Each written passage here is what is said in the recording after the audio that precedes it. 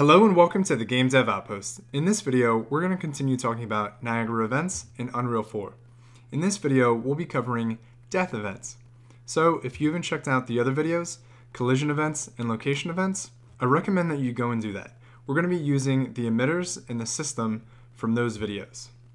So to get this started, I'm going to open up my Niagara system and I'm going to clean this up a little bit. I'm going to delete the generate location event on the first emitter and on the second emitter, I'm going to delete receive location event. And then under event handler, I'm going to delete the handler properties. Now to get this started, under particle update, we want to click on the plus icon we want to type in death. We're looking for generate death event. And this is a lot like the other event modules.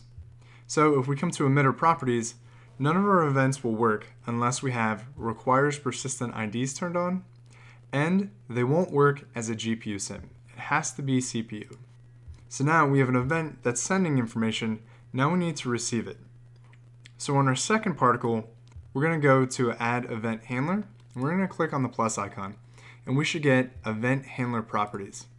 And now in here, we need to change the source so that we can have a relationship with our first emitter. So I'm going to click on the dropdown, and I'm going to change this to death event. And then execution mode, we want this to be spawned particles. Now, the spawn number, I'm going to set this to 1 for now. And now we'll go take a look.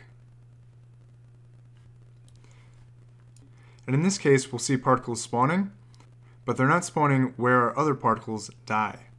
So we need to add a receive event. So under event handler, we're going to click on plus, and we'll type in receive, and we're looking for receive death event. And now, if we save this, and we go take a look, wherever one of our particles die, we should see our other particle system spawn. Cool?